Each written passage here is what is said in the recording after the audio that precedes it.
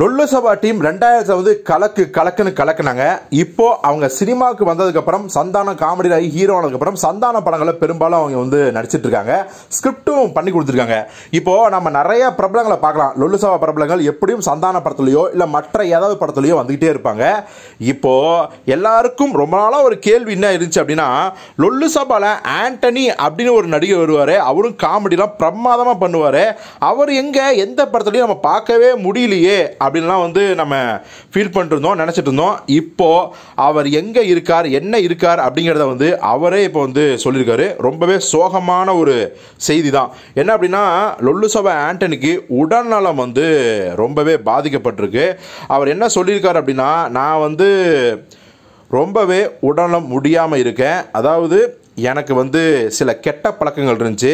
இன்னும் சொல்லப்போனால் முதல்ல நெஞ்சு சளி ஏற்பட்டு ஆஸ்துமா பிரச்சனை இருந்துச்சு. சரி அப்படின்னு சொல்லிட்டு பார்த்தா கொஞ்ச நாள் கழிச்சு இடுப்புக்கு கீழே முழுவதும் நீர் கோத்து நடக்கவே முடியாமல் போயிடுச்சு.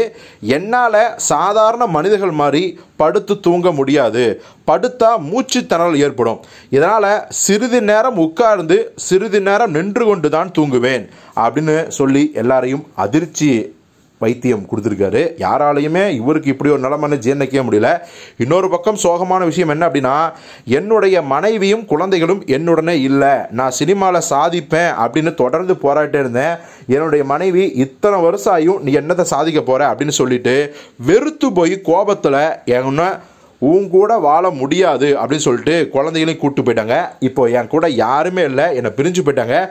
என்னை இப்போ இப்படி ஒரு நிலைமையில பார்த்துக்கிறதுக்கு யாரும் இல்லை என் மனைவி கூட வந்து பார்க்கவே இல்லை. அது மட்டும் கிடையாது சந்தானம் ஆரம்பத்துலேருந்தே எனக்கு அட்வைஸ் பண்ணிட்டே இருந்தார். கேவலமான கெட்ட நண்பர்களோட சகவாசம் வச்சுக்காத. அது வந்து பிரச்சனை ஆயிரும்னு. நான் சந்தான பேச்சை கேட்காம என்னுடைய பணம் வீடு எல்லாத்தையுமே வந்து பார்த்தீங்கன்னா தீய நண்பர்கள் மூலம் வந்து என்னை விட்டு போகிற அளவுக்கு நானும் நடந்துக்கிட்டேன். ஆனால் நான் கஷ்டப்படுற நேரத்தில் அந்த நண்பர்கள் வந்து உதவவே இல்லை. சந்தானம் தான் இப்போ எனக்கு ஹெல்ப் பண்ணிட்டு சேசு அப்பா கூட பார்த்தீங்கன்னா நான் இருக்கேன்டா பயப்படாதடா அப்படின்னு சொன்னார். ஆனால் இப்போ அவரே இல்லை. ஸோ என்னுடைய மனவேதனை நாளுக்கு நாள் அதிகமாயிட்டு தான் இப்போ இருக்குது அப்படின்னு சொல்லி ரொம்பவே வந்து ஃபீல் பண்ணியிருக்காரு இதை பார்த்த கேட்ட எல்லாருக்குமே வந்து ஒரு அதிர்ச்சியும் சோகமும் இருக்குது ஸோ ஆண்டனி அவர்கள் மீண்டும் உடல் நலம் தேறி அவர் வந்து பழைய மாதிரி ஒரு காமெடி அவதாரம் எடுத்து சந்தான படங்கள் நடித்து அவர் குடும்பத்தோடு இணையணும் அப்படிங்கிறது தான் ஒவ்வொரு ரசிகரும் சோசியல் மீடியாவில் அவருக்காக அந்த விஷயத்தை ஷேர் பண்ணிட்டு இருக்காங்க.